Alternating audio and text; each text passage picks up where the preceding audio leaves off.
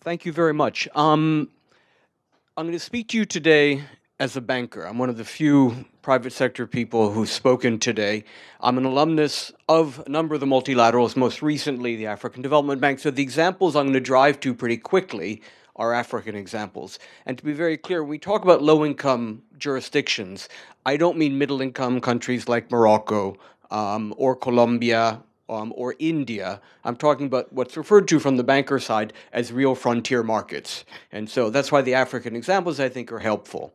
Um, Neil also set down the standard this shouldn't be a polite, friendly conversation. So, as you'll see, what I'm going to describe to you is hard to do. It's hard to do in terms of getting large institutional investors into these markets. And I'm not talking also in the way Chris talked about some of the small equity transactions. These are trying to do in frontier markets what institutional investors do in Chicago, in the solar, the big solar plants in Arizona, or in the airports in the UK. Institutional investors, insurance companies, and pension funds do that work, not banks. They don't do it in emerging markets. And that's the question is how do we do, as Neil characterized it, the financial engineering to actually get this stuff done? Now, I'm going to go back over a number of themes people have already touched on, but it's just a reminder um, of why this stuff doesn't happen. So, a number of the colleagues have talked about on the green side, as you see, um, why is this now? Why is an inclination for institutional investors even to have the conversation about going to Africa or to the weaker parts of Southeast Asia and the Caribbean, for example? People are well aware of the interest rate regime, the difficulty of making return. Asset managers, in particular, are getting hammered by, of course, all the passive funds, the ETFs. So actually, the new active asset management is justifying the paying of fees to go into more specialized, more interesting niche sectors so they can make money. That also leads equally to a sense of looking for new uncorrelated assets, too much liquidity, everything trades at the same level. Where do you get something that's different in some of the markets that we're discussing? Finally, colleagues have talked about in great detail, of course, the interest from the providers of the liquidity, the savers, the new generation, people looking for sustainable and responsible investments. Colleagues have mentioned equally. So, what does this lead to? A big push into a number of asset classes listed on the bottom left, which allow us to drive into some of the sectors we're about to talk to um, impact investing, private debt, ESG infrastructure, and sustainable natural resources, agriculture, for example. Now, why doesn't this happen? Um, there's been a characterization throughout the past day and a half that somehow there's an information problem. And it's true that there's a perception risk rather than what may be the actual loss given default or recovery rates. But I'll focus in on the second point there, um, which is reputation risk. And I think it's understated. And as I'll talk about in the two transactions that we'll review in detail, um, big institutional investors in part don't go to Africa because they don't want to have the news impact of having activities where they're invested in, or even the countries where they're invested suddenly hitting the news in the manner of a Mozambique event. It's not the loss of the money, even. It's getting associated with something that's unpleasant and inappropriate. The bottom two points are important here. Investment mandates are risk averse and capital treatment, certainly in Europe with the arrival of Solvency II for insurance companies. And it's important when I will talk a lot about risk mitigation. Big institutional investors do not have mandates to take emerging market risk, and I mean even 1% not only because the mandates don't allow them to do that, people to give them the money to manage, but indeed the capital treatment. If you have 5% exposure to the Cote d'Ivoire, suddenly the entire return profile flies out the window. So what I'm going to talk to you about is full risk transfer in these in these structures because as the point is made there on the lower the lower right, based on World Bank estimates, institutional investors do not take part in real emerging market infrastructure today. Now, just as a reminder, this is a nice Moody slide I use often, which it just makes the point that have been made by several colleagues previously, including in Mark's presentation. Um, if you look at advanced economies, look at big project finance, what is the what is the cause of default? Unsurprisingly, it's market risk. Toll roads, solar plants, you don't produce, people don't pay. It's real merchant risk. Emerging markets, as people are well aware, what's the big bar? Second from the bottom, country risk in all of its manifestations. Now, Now we're going to get into some of the nuts and bolts of what exactly are we talking about in terms of risk transfer. Some of this has been discussed by colleagues, and I'll help deconstruct the, the chart a little bit.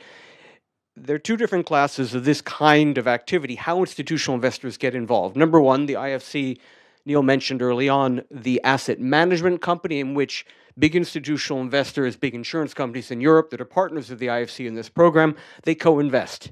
They benefit from the halo, the experience, but I would argue most importantly, the World Bank Group's preferred creditor treatment was mentioned by Mark also as well. So what does that mean? Simply put, people don't default, except for the examples given, on the World Bank. It's sort of an amorphous category, but it gives people confidence to invest. Uh, notwithstanding the IFC's rightful pride in these activities, it's a small thing. I would also argue, and this is where I'm saying it's hard as a private banker, it's hard to get big institutional investors in because a lot of the projects that are relatively easy, and I'm, I have to say it this way in Africa to do, the DFIs are there. So what I have to do is try to define a different category of activity for getting institutional investors in via direct trades that we'll discuss. Now, there are a range of risk mitigation instruments First of all, I think Kruskaia talked about some of the guarantee products that the World Bank has and the IFC and other multilaterals. Very powerful. They take the risk away. So it's extremely potent and extremely helpful when you're building these transactions. Then you have a whole sliding scale that runs all the way over to the commercial insurance area. This is the really the direction where a lot of our thinking has to go how to blend the multilaterals with the people that really take risk in the market, that know how to take risk, which is the insurance and reinsurance markets. And we come up to the very beginning um, which for me is a, a guiding line for how we're supposed to think about this kind of activity. Professor Rajan, by the way, is a member of this G20 Eminent Persons group. If you haven't seen the report, you should read it. it provides a lot of interesting thinking. And among the conclusions of the first two points put up at the front, reorienting the multilateral development bank business model so they are not lending as much. I work for the biggest bank in Japan. I have an enormous balance sheet. The insurance companies and pension funds I work with have even more cash. They don't have risk tolerance. So the multilaterals, back to why I was prodding Mark earlier in the conversation, they need to take more risk. And we can provide the liquidity. Equally, they talk about diversifying risk in the system. So the multilaterals indeed are not taking it, and they don't have to go ask the shareholders. They go into the insurance market and go find the political risk cover. So let me step, I'm going to step, I'm moving quickly and I apologize for time limits. I'm going to go into two transactions, one of which was executed um, about seven months ago, and the next one is a live trade, uh, which is sort of masked to allow me to talk about it. Now, this is a transaction for the Republic of, of the Cote d'Ivoire. It was concluded, as I say, about six months ago. What the trade tries to do is to finance in the market, not directly through either a bank or a multilateral, um, a slice of the social infrastructure budget for the Republic of Cote d'Ivoire. Now, in simple terms, if you have you have a loan to the Republic of the Cote d'Ivoire. Now, it is repackaged, and uh, the colleague was talking yesterday about SPVs and registration in tax havens. Indeed, we are talking about one of those. This is a Luxembourg-based SPV, takes the loan and issues a note, a bond to investors. These are big insurance companies and big pension funds who buy the bond. Sounds straightforward enough. Now, as I've said, they are not going to buy the Republic of Cote d'Ivoire. So what we do is we work with one of the multilaterals in Africa. This is Africa Trade Insurance Agency. It's a little baby entity like MIGA, works only in Africa. The Africa African Development Bank is the largest shareholder. They are single A rated, strong, robust entity. They provide 100% of principal and insurance guarantee. Because remember back to the point, the investor cannot take one percentage of pure African risk. So this structure takes that effective non-payment contract. Remember, this is an insurance style contract. And so what the investor gets through a rating process is a strong investment grade asset. So that's the alchemy here. We're taking the Republic of Cote d'Ivoire, B1, we're turning it into a high investment grade note, which is sold to investors. That is hard to do. The rating agencies, and where's S&P? I see Philip there. Um, they have great difficulty understanding exactly the value of the multilateral protection because in fact, Neil made the comment about the GEMS data, the loss and recovery data, that is in fact not shared very widely, and the rating agencies don't really know what to do with the multilateral money, so we in the end, we end up over-covering because no one really knows what the preferred creditor treatment means in practicality. Nonetheless, we get 100% cover here, so the investors are able to invest. One last point here is sort of another interesting point about reputation and ESG. This was all done for social infrastructure. The Cote d'Ivoire sent us a spreadsheet with 200 line items for the combination of little bits of investment in water systems, renewable energy, roads, schools, house. Great, great mixture. The investors said, absolutely not. We cannot look through a spreadsheet with 200 items. Again, it's a question of the, the legitimacy investment. Are you investing in something that's appropriate? So the way to get around this we worked with one of the social bond accreditation agencies, of which there are quite a few, with the rise of the ESG investing phenomenon. So they took about six weeks to provide an overall accreditation to say everything in this list, and we had to toss out things like police housing that looked a little complicated, um, and therefore they blessed it as a social loan. Investors loved it. Insurance company in Japan purchased. It was a miracle. First Japanese institutional investment in Africa, to my knowledge. They loved it. They issued a press report. One of the Northern European pension funds that invested put it in their annual report. So you see how you use tools in the market, both the rating, which is critical, critical, because a public pension fund cannot invest in a security that is not rated. So we had to wrangle with rating agencies to get the rating done had to use the accreditation agencies and make the whole thing safe in a reputation sense. And this is how it's done. Next trade, and this is a live example, but it's really the most important exercise in a way. The one before was the packaging of a Ministry of Finance CapEx program, because it's still the Ministry of Finance that is the, the borrower. They're the risk. Here, this is a project. And in fact, the reality in Africa is you got to have more projects. And this is the point I will say this is a live exercise. We're not there yet because I am begging the sponsor of the project to allow me to get in because it's too much DFI money. This is a nice project, social infrastructure in a pretty stable country. Everybody wants to do it. Now, they're agreeing for innovation purposes that we'll give it a try. Let me tell you, it's another example of how, the, how risk mitigation really works in practice and what we're trying to do. So this is a big project, 700, so it's about a billion dollars, crudely. Um, and again, you have a project company. This is a big project engineering firm that you will all know. Um, and they have a nice big piece of social infrastructure.